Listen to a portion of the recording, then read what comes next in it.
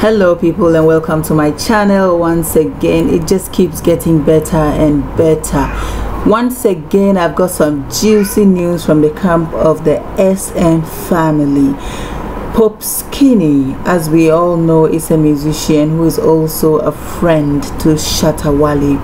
Actually, many people believe that Shatta Wale has become Shatta Wale because of the intervention of Pope Skinny. Now, Pope Skinny and Shatta Wale have become uh, sworn enemies after, you know, uh, they had some kind of misunderstanding between them. Earlier on i posted a video about a clash between Shatta Wale and joint 77 on Hitz FM live radio which led to Shatta Wale insulting uh, joint 77 and also threatening to uh, take away the car that he had bought for him earlier. And also uh, he followed through and actually took the car from joint 77 Pope Skinny well is infuriated by it.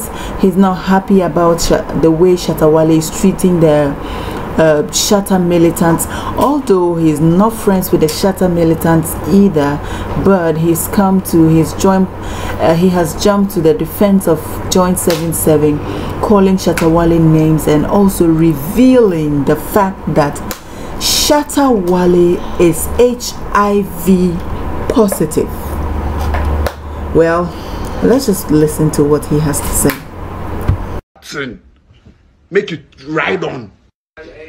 Mo ṣe ọkọ aseɛ bi ɛnɛ ɛ yɛn ho fi bi wɔn te sɛ gɔɔta mu aboa wosika wɔnyɛ kura na ndorɔ wɔn ho wo hiv hiv wei no fa bɛkyerɛ nkurɔfo no wɔn sɛ woyɛ negative anaa positive.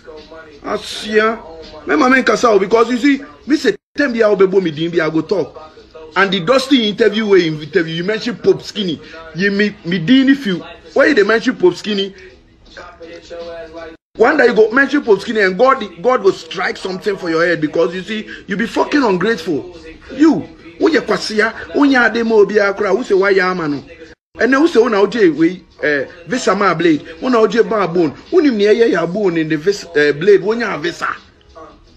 Hey, wagyi mi o wopɛ glory o hey, me